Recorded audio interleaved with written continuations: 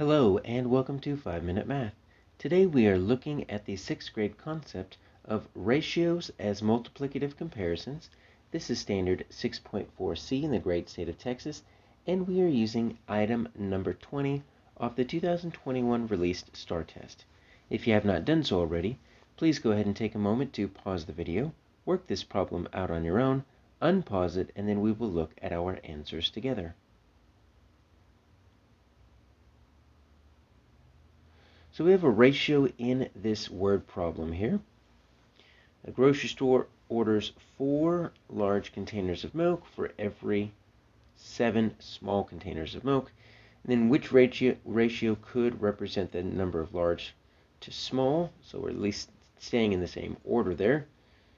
So we have a ratio of 4 to 7. So what I'm going to do is you notice that each of these are represented with these these dots here. So we could represent 4, I'm going to put large, 4L to 7S. Or we could use the word 2. Or we could use a fractional notation. And quite honestly, that's a little bit easier for me because what we're going to do is we need to find a ratio that could represent an equivalent uh, fraction to these. So what we're looking at is 4 sevenths, and does it equal either these 1821, 14 over 8, or 16 over 49? So let's just look at it like this. Uh, let's see. Let's start with this first one. 18 over 21. As long as we've got the large on top and the small on the bottom, that's fine. We don't have to put the L or the S. So we think, how do we multiply to get from 4 to 18 and from 7 to 21? Because if we multiply by something that's equal to 1, like 2 halves, 3 thirds, 4 fourths, 5 fifths, then we're good. That's an equivalent ratio. Uh, 4 times 18, there's nothing that goes in there evenly. I know 7 times 3 makes 21. So if I wanted this to be equal, it would have to be 3 over thirds. That's what makes an equivalent fraction. That's what makes stays within that ratio. But 4 times 3, uh, that makes makes 12, doesn't make 21. So 18 to 21 is not going to work.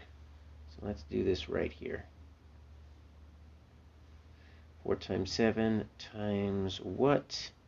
I've got the 14 over 8 you know what? That would work if they would flip it. I see what they did here. Take a look at that. If they were to flip it, let's say they did 8 fourteenths. Well, that's easy then. Look at that. That'd be 2 over 2, and we'd be good to go.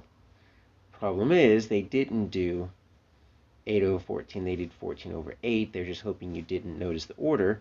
So now we've got to try to figure out 4 times what makes 14? Nothing. 7 times what makes 8? Nothing.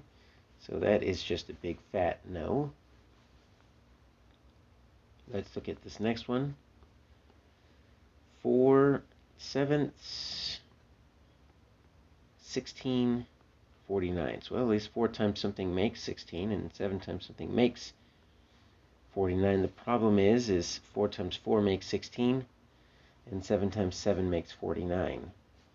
That would only work if you got 4 over 4 or if you had 7 over 7. But that is not an equivalent ratio because it's not multiplied by something that's equal to 1 like 4 fourths or 7 sevenths. So that is not the answer. So it looks like our answer is going to be J, none of these. Now we didn't find one that was equivalent. What is equivalent? Well, let's make our own equivalent. Let's let's do 4 sevenths, and let's just double it, right? So that would be 8 fourteenths. We already decided that. we could 8 fourteenths could have worked, right? And then we could add another 4, and we could just keep going by multiples of 4 and 7, right? We can do 12 over 21, 16 over 28, 20 over 35. See, all of these are equivalent ratios, and all of these would have worked Problem is, is they didn't give us any of these. So our answer is J.